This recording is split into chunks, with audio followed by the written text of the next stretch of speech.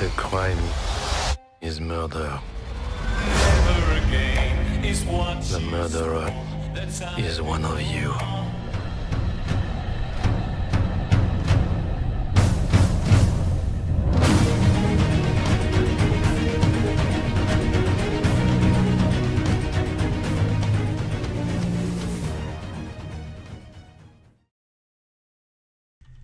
Hey folks, it's the blind guy here, and on this episode of Should You Watch, we are looking at I think it came out in 2020, the end of 2021 or the beginning of 2022. Death on the Nile, the Agatha Christie murder mystery movie. Um, this is a newer movie than I usually do, but I'm going to try to do a few more newer ones.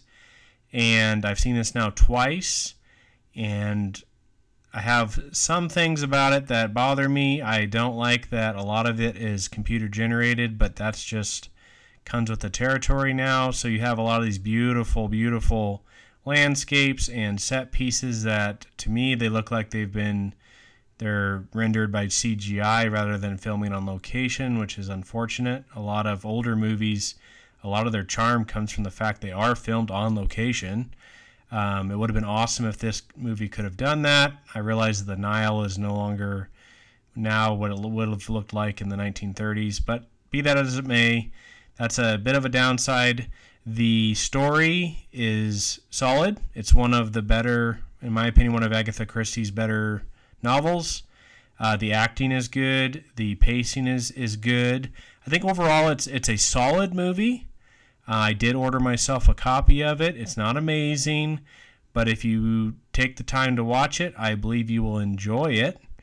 Um, and especially if you're a fan of Agatha Christie stories, I'll actually probably end up doing a versus video based on this one versus the Murder on the Orient Express because this is somewhat of a sequel to that. It has the same acti- actor playing Hercule Poirot and actually another carryover actor from the Murder on the Orient Express as well.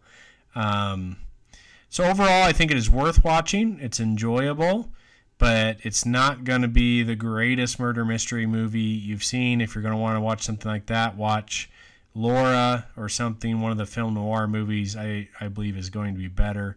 I don't know how this compares. I believe there's a couple other uh, Nile murder, um, Death on the Nile um, movies made. I think there's one in the 70s, and there may be one even before that. I'll have to check those out and let you guys know what I think. But I, I, I just wanted you guys to know there are some decent movies still being made by Hollywood, and this is one of them.